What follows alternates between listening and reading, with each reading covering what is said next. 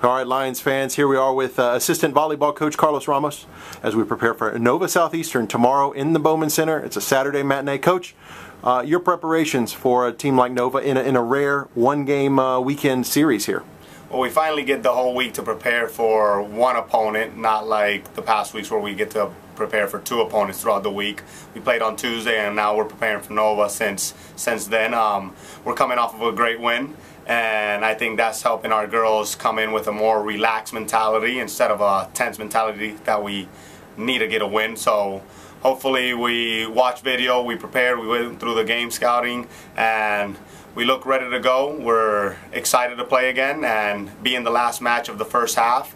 I think we want to go out with a big W and hopefully the preparation allows us to do that hopefully the preparation pays off. Coach, one of the things that we shared uh, just as we were sitting down to do this interview, you got that big uh, three or five set win, a big 3-2 win over Florida Southern, one of the better teams in the Sunshine State Conference on Tuesday. Give me your thoughts on, on finally getting that first conference win after after some struggles and some uh, balls bounced uh, away or against you guys uh, early in the season.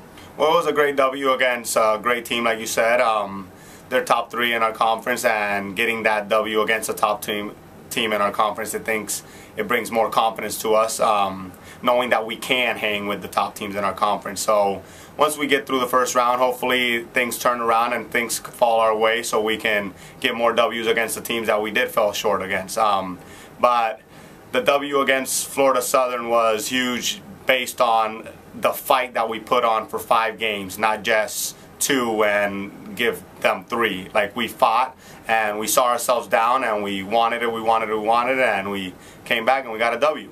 It was nice to watch him rally, Coach. All right, Coach. We'll see you in the gym in Bowman in the Bowman Center on Saturday afternoon against Nova Southeastern. We wrap up the first half of conference play. Coach, good luck. Thank you.